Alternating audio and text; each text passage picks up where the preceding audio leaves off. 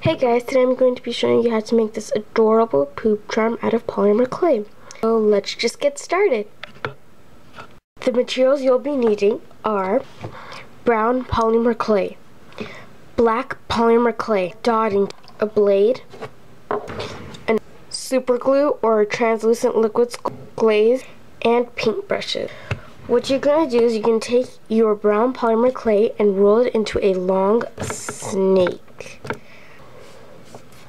After you've gotten the snake, you're going to take one end and you're going to make the top of the poop.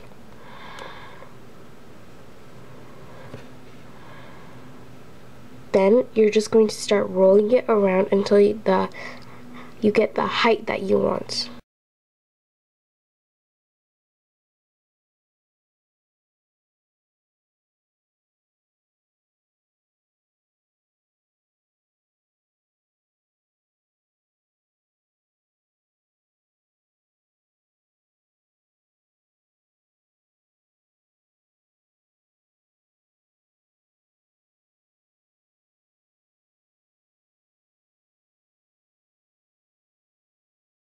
You're basically done with the poop. If you want to make it into a charm, get your wire cutters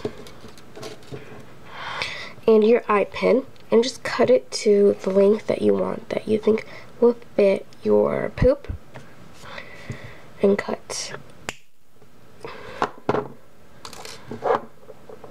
After you've gotten your eye pin, get some super glue or translucent liquid Sculpey I'm getting the excess from my from the eye pin I'm just putting it on with that like that because I don't want to put too much. After you've done that you're just going to take your poop just put it wherever you want. I'm putting it right on the top Make sure you let the, the crazy glue dry before you put it in the oven or else it will crack.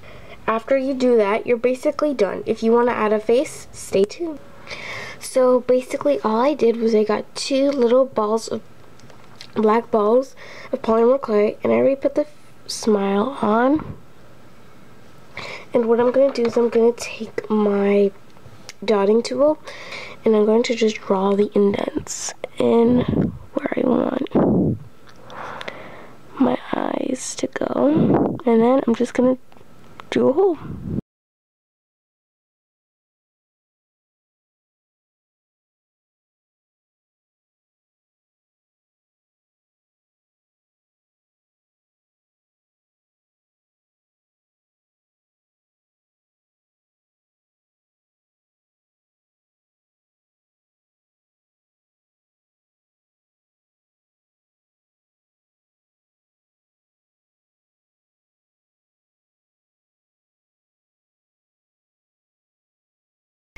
Once you're done making the charm, make sure to bake according to your package's instruction. Mine is bake at 275 degrees Fahrenheit for 15 minutes and then glaze and you're done. You have a beautiful poop charm. Thanks so much for watching and make sure to subscribe. Bye!